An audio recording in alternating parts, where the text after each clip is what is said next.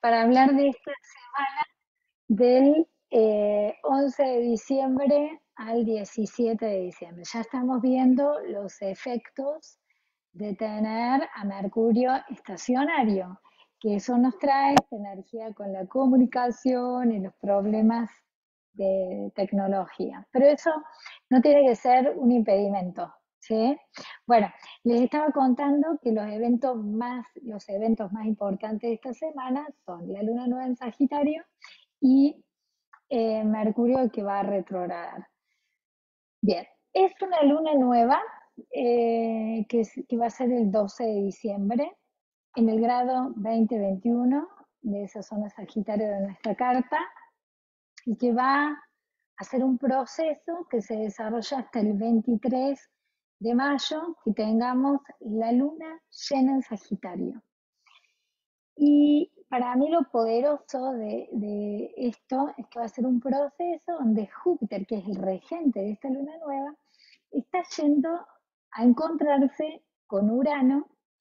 Lo va a hacer el 20 de abril, pero esto es muy importante porque es un ciclo que queremos aprovechar para poder manifestar lo que Júpiter en Tauro nos invitó a manifestar. A ver, ustedes saben que el evento quizás más importante del 2024 es esa conjunción Júpiter-Urano, que a todos de una u otra manera se nos pide manifestar o anclar la energía más auténtica de nosotros, por, por decir lo que el alma nos pide manifestar. Por eso, de paso, aprovecho para invitarlos a un retiro que vamos a a un retiro que voy a dar el, carnaval, que se llama El cuerpo y la revelación del alma, donde vamos a estar trabajando desde el cuerpo, cómo el alma nos pide manifestar y cómo podemos usar el cuerpo desde la práctica de yoga como nuestro mejor aliado para llevarnos a ese cambio.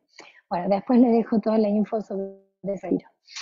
Em, realmente es un ciclo que queremos aprovecharlo. Ahora, para eso sirve la astrología, para ir paso a paso. Fíjate, esta luna nueva que se da con Marte nos pone como muy ansiosos, queremos ir rápido a hacer algo. Pero hay algo que no estamos viendo tan claro y cuando eso pasa podemos meter la pata feo. Entonces, si ya metiste la pata porque te apuraste con algo y decís, bueno, no importa, y si todavía eso no pasó, está bueno que puedas observarte, mirarte y poder decir, bueno, a ver, ¿qué es lo que realmente quiero? Escuchar lo que mueve tu corazón y redireccionar tu energía hacia eso podemos aprovechar la cuadratura de Neptuno, o sea, es Sol, Luna, Marte, estos tres planetas haciendo cuadratura a Neptuno. Y en aplicación, por eso, como no es exacto en el, en el momento de la luna nueva, lo vamos a ver durante todo el mes de diciembre, que quizás no estamos tan claros de hacia dónde queremos ir. Estamos más bien en un momento de permitirnos en el no sé. Estuvimos este fin de semana con mis hermanos, nosotros somos cuatro, y esto salió mucho entre nosotros, nosotros tenemos mucha energía Géminis los cuatro, y, esto fue una de las cosas que más salió.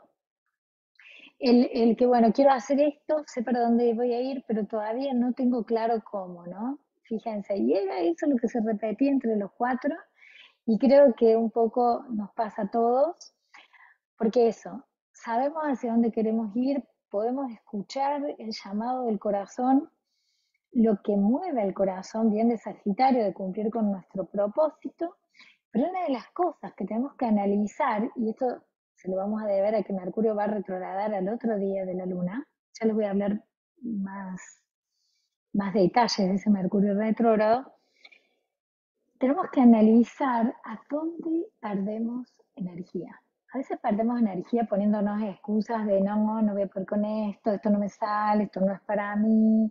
Perdemos energía dándole autoridad al otro, no, mira qué van a decir, quién soy yo para decir esto, ¿no? Entonces es bueno poder reconocer dónde sentís vos que para llevarte a lo que venís a hacer perdés o sea, se te va la energía en otras cosas que puede ser, me lleno de cosas y, no pongo la energía en donde realmente la tengo que hacer. Porque no nos tenemos que olvidar que el Sol y Marte, que en esta luna están juntos, eh, vienen de haberse unido en Escorpio, que nos decía esa, esa Sol-Marte, que es un Marte nuevo, dónde o qué cosas sabes que tenés que dejar de hacer, ¿no? Y también, bueno, podríamos hablar de Venus eh, al lado del nodo sur, que es como dejar que una parte de nuestro ego muera para poder dar inicio a lo nuevo.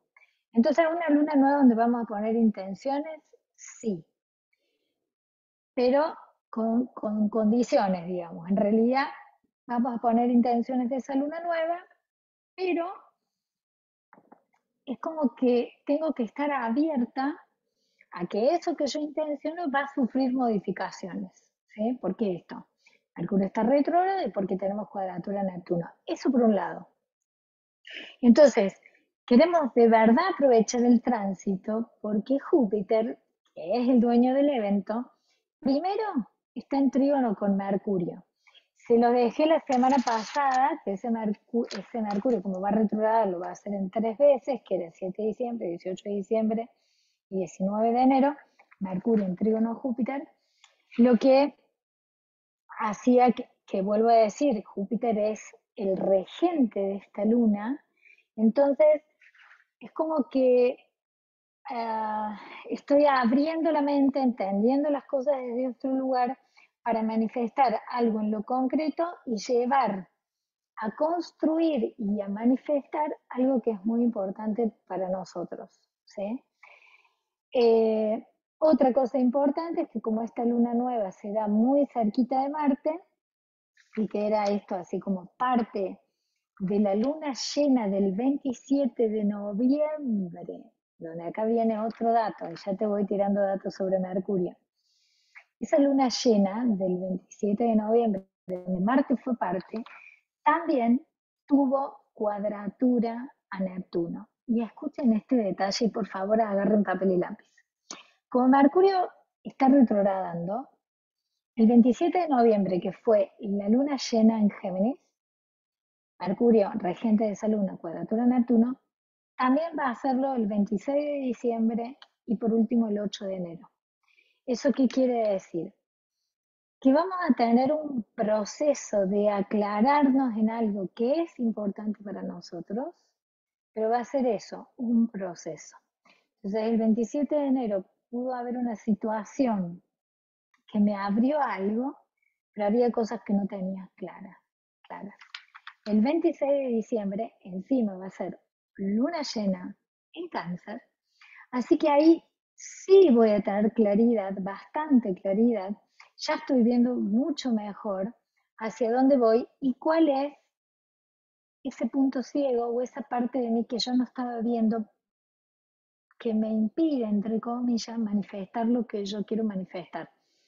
¿Y esto cómo me doy cuenta? Y bueno, a veces porque vuelvo a repetir un patrón, porque me paralizo, porque eso me da miedo, es una luna llena en cáncer, cáncer rige nuestras emociones, empiezo a hacerme cargo de cuáles son esas emociones que me están trabando en la manifestación de algo que yo quiero mucho, mucho, porque tiene que ver con la manifestación de lo que el alma me está pidiendo manifestar. Por eso vuelvo a decir que la unión entre Júpiter y Urano, que es quizás lo más importante del 2024, que nos pide Dirección y propósito por Júpiter. Y hacerlo de manera creativa y original por Urano. Estos que se unen, o sea, desarrollar mi maestría en esto que me hace única, especial y diferente, eso es lo que me está pidiendo esta luna nueva, que obviamente es lo que vamos a trabajar en el retiro, que el retiro va a ser para trabajar o llevarte herramientas para trabajar en todo el año, va a ser en carnaval, cinco días y cuatro noches, un montón.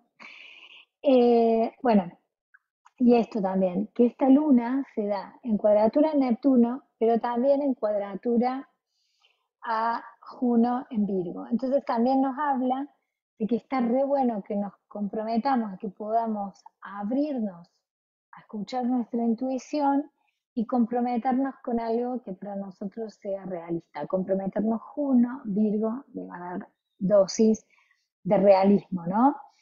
Entonces, me parece como un momento de, poder eh, observarnos. Imagínate que Mercurio va a retrogradar del 13 de diciembre al 1 de enero. Entonces estamos replanteándonos mucho cómo queremos administrarnos en nuestra energía.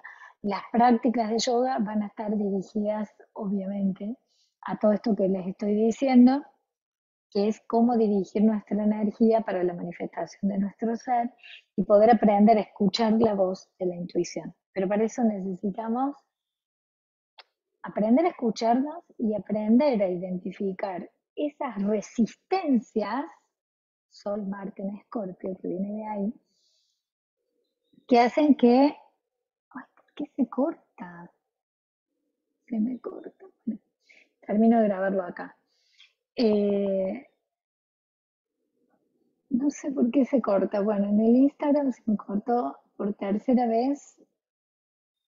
Bueno, ese es Mercurio ya por retrogrado. Lo voy a ver si es por una cuestión de tiempo, no sabe.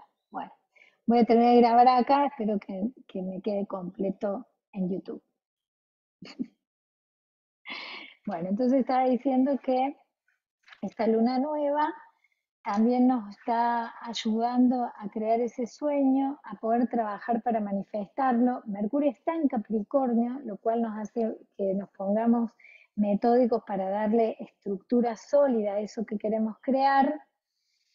Eh, pero bueno, como les decía, que como estaba en cuadratura Neptuno, eh, realmente, y esto se va a mantener hasta fines de diciembre, lo que me parece más sano es conectar con la inspiración, con darnos ese tiempo de como de vacío, de querer como soñar hacia dónde quiero llevar esta energía, ¿no?